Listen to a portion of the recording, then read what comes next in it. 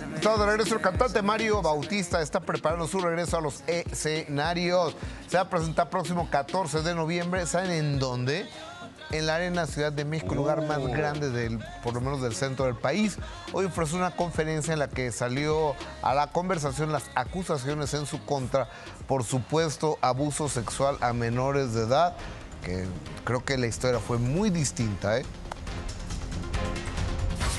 Esa situación yo creo, todo se dio por algo, todo pasa por algo. Esa situación ya se cerró, se acabó el chisme obviamente, este, se concluyó legalmente como tenía que haber sido siempre. Yo no, o sea, ¿sabes? Como que no me gusta esto de salir a aclarar cosas que ni siquiera son verdad. Porque si hubiera sido verdad, yo hubiera salido y hubiera dado mi cara y hubiera dicho, la ca ¿sabes? Porque así es, así tienes que afrontar las cosas. Pero cuando no es verdad, por eso no me quise involucrar en el más mínimo sentido. O sea, no me valió queso porque realmente yo veía en la tele a estas niñas y yo decía, no puedo creer que haya gente así de verdad. O sea, que las niñas estuvieran, disque, unas llorando y otras ya no sabían qué hacer. Y yo decía, wow, de verdad, ¿por qué hacen esto para dañar algo? yo, o sea, ¿por qué? ¿por qué ser así, sabes? Y entonces no le quise dedicar nada de energía a eso este, y preferí dejarlo 100% a un lado se arregló legalmente como tenía que ser, se cerró y estoy feliz de la vida y agradecido. Todo pasa por algo. Ellas tuvieron su lección.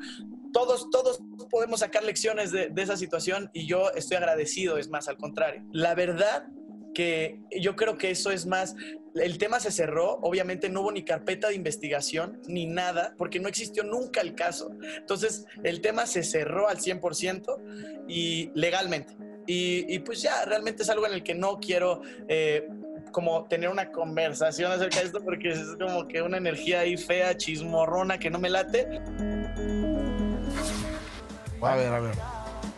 Sí se resolvió. Creo que fue como una trampa para este muchacho.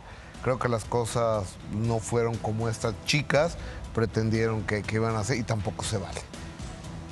Creo que tampoco se vale. Así Mañana tenemos, tenemos más detalles. Oigan, a ver, pero Mar- eh, tú eres un especialista en redes sociales y demás, perdón. O sea, bien chafita eso que hiciste, ¿eh? O El sea, back, el, Sí, qué el raro, fondo. el, El- fondo el- el espantoso. O sea, se ve como de, no, muy mal. A lo mejor fue, pues, sí es que ni siquiera eh, eh, Consum eh, tiene tan mala calidad, ¿no? No, no, pe- pero muy chafita, Sí, ¿eh? no estaba padre. Pero no qué bueno la explicación que, que- que nos da y Muy mañana seguro. tenemos, por supuesto, más información.